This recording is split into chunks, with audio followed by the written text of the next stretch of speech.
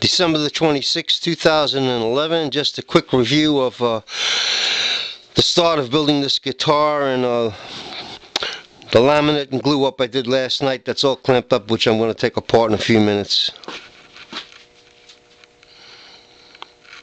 I laminated half of the top and the other top I'll laminate on today after I finish cutting what I have to cut.